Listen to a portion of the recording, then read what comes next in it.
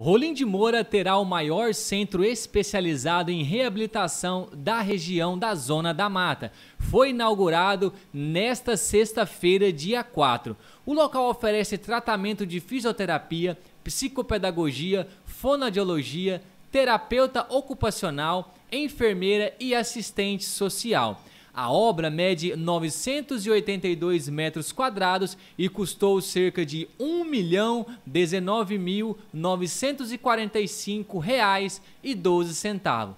O SER funcionará na rua Rio Madeira, ao lado do Hospital Municipal, de segunda a sexta-feira, das 7 às 19 da noite, com atendimento ao público e profissionais especializados em cada área. Todas as áreas médicas, né? Você vai ser muito bem atendido pelos profissionais, num ambiente apropriado e com equipamentos de última geração. Para se ter uma ideia, uma das obras que estavam paralisadas em nosso município, nós reiniciamos ela, nós terminamos a obra. Agora, só terminar a obra, estrutura física, não, não quer dizer nada.